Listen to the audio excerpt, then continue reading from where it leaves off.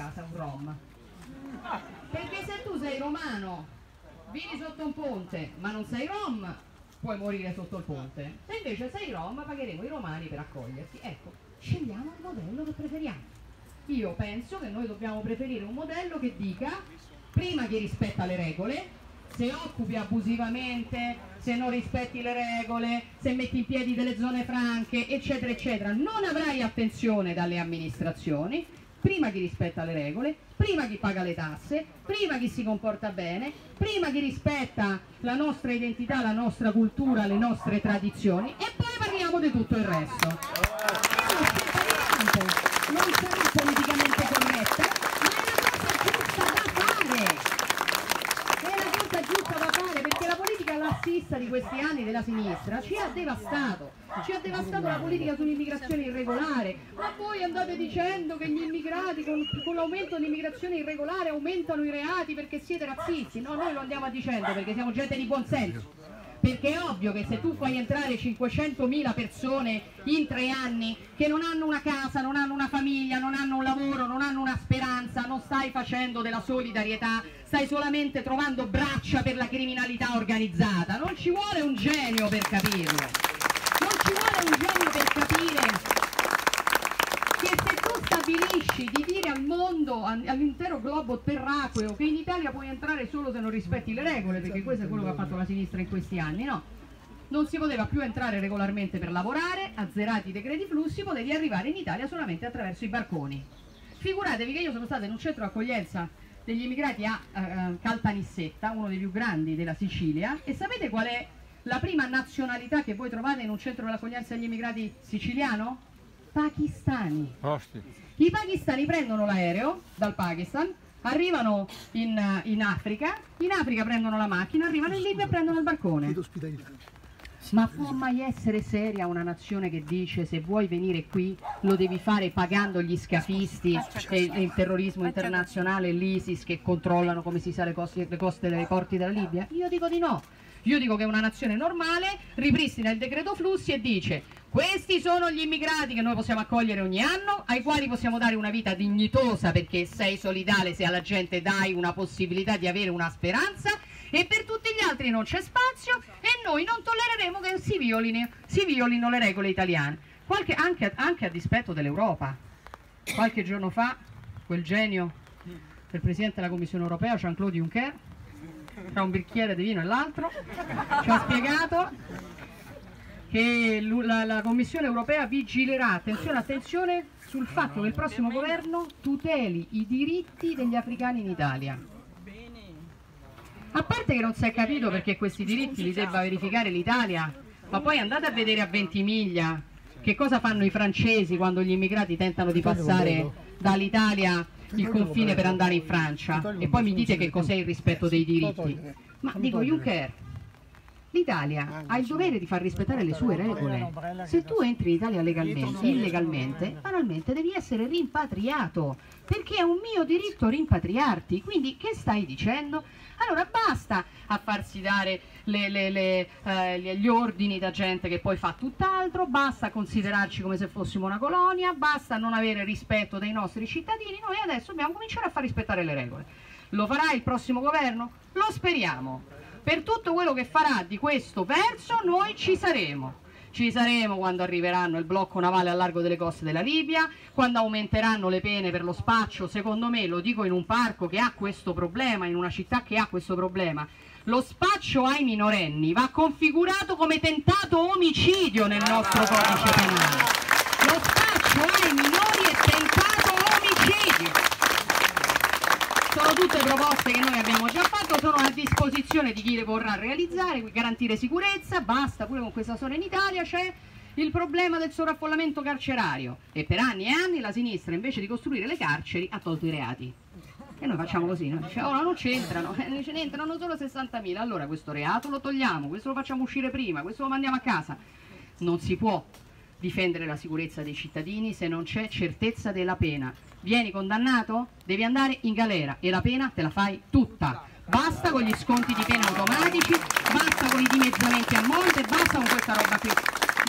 Quando arriveranno questi provvedimenti, i provvedimenti sulla legittima difesa, non vi devo dire niente, ci abbiamo fatto una campagnona, sto cercando di andare veloce perché piove, ma eh, due cose eh, insomma le, le, vorrete ascoltare quindi anche sul tema della legittima difesa questa roba ma non solo il giorno la notte ma il fatto di dire la difesa ti puoi difendere ma la difesa deve essere commisurata all'offesa.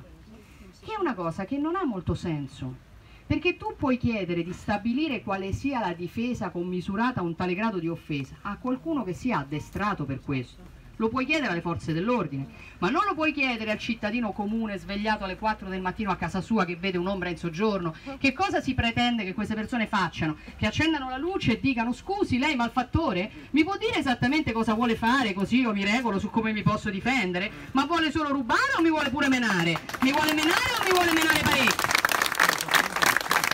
Vedete la follia?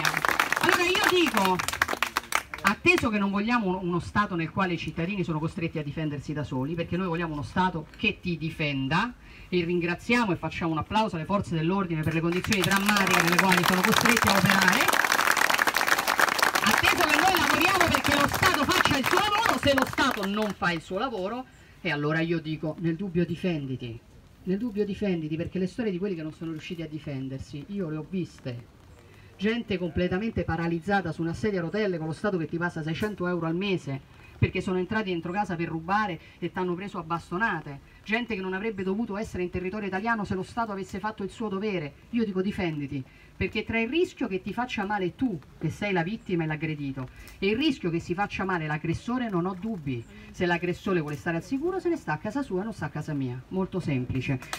Norme di buon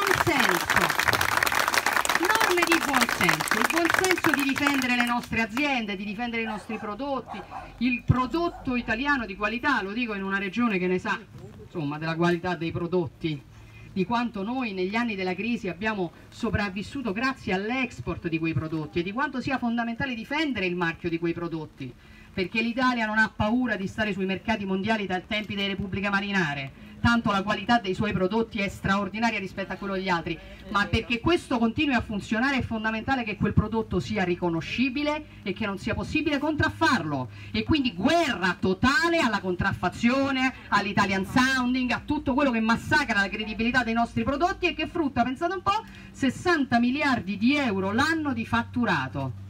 Il parmesan, la pasta mafia, il vino il padrino, e tutta questa roba che vendono come se fosse italiana sui mercati internazionali. Invece noi vogliamo aiutare le nostre imprese a entrare nei mercati internazionali come le altre imprese vengono aiutate nelle altre nazioni dallo Stato per entrare da noi. Provate a entrare nel mercato francese e non riuscirete a farlo, ma poi andate a guardare quel, grazie alla compiacenza di questi governi fantoccio che abbiamo avuto dal 2011 in poi, che cosa si è comprata la Francia in questi anni di gioielli di famiglia italiani senza che nessuno dicesse niente. Dice ma siete nazionalisti? Siamo italiani, difendiamo l'Italia a 360 gradi. Ci sarà un governo che farà tutto questo? Ci saremo. Fratelli d'Italia c'è, se invece ci sarà un governo che arriva e ci dice no, dobbiamo fare il reddito di cittadinanza, diamo 800 euro al mese alla gente per stare a casa, allora no.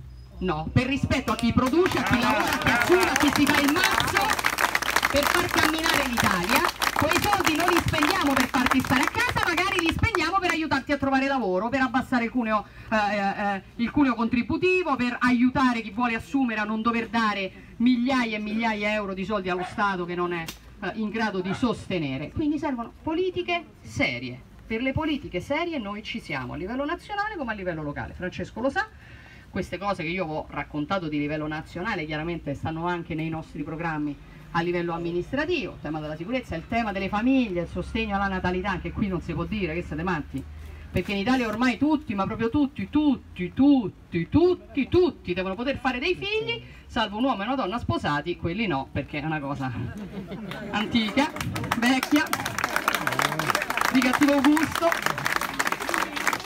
E invece dare servizi, servizi alle famiglie, vivere la scelta della genitorialità come una libera scelta, non come un bene di lusso, non costringere una donna nel 2018 a dover ancora decidere tra essere madre e poter avere un posto di lavoro, aiutare le imprese che vogliono assumere le donne in età fertile perché metteteci a competere a armi pari.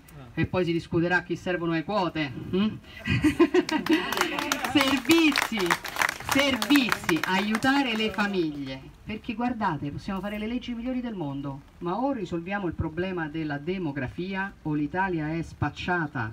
L'abbiamo capito questo? L'Italia tra 200 anni non esiste più. Tra 30 anni noi crolla il nostro sistema di welfare, perché noi avremo sempre più persone da mantenere e sempre meno persone che lavorano per mantenerle. O invertiamo i dati sulla demografia o siamo finiti. Né a me sta bene che mi si dica, vabbè, tanto facciamo entrare gli immigrati che i figli li fanno loro. Io voglio che li facciano gli italiani, perché non voglio rinunciare all'Italia, alla sua civiltà, alla sua cultura, alla sua tradizione. Quindi la prima sfida è la sfida della famiglia, del sostegno alla famiglia, anche se è politicamente scorretto, sostegno alla famiglia, sostegno a chi vuole mettere al mondo dei figli. Noi di tutto questo, su tutto questo siamo mobilitati, se scegliete Fratelli d'Italia sapete che è una garanzia di coerenza, di serietà, se credete nei valori del centrodestra largamente intesi, beh, sapete insomma che siamo gli unici che non fanno le fuitine, come si dice, no, no, no, ogni tanto non scappano e poi tornano. Noi siamo sempre stati a presidiare lo stesso campo, abbiamo questo, mm, così, questo pallino della coerenza e su di noi sapete che potete sempre fidarvi. Le nostre liste sono fatte di persone oneste, che credono in quello che fanno, che fanno politica da anni, che possono sempre camminare a testa alta. Insomma, aiutate Francesco Rucco perché Francesco è una persona di esperienza provata, voi lo conoscete, lo sapete, sapete il lavoro che ha fatto uh, nel comune di Vicenza in questi anni e quindi lo conoscete così bene da sapere che non vi tradirà e aiutatelo con un gruppo forte di Fratelli d'Italia perché è come mettere in, in cassaforte il vostro voto. Grazie e in bocca al lupo.